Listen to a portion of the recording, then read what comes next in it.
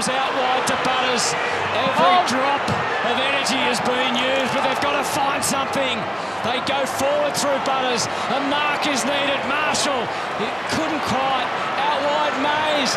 Back in AFL footy. The kick was good. The mark was better. And it's Robbie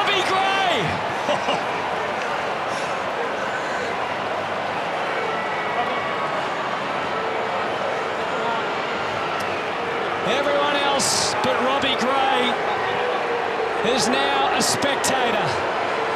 The siren will sound.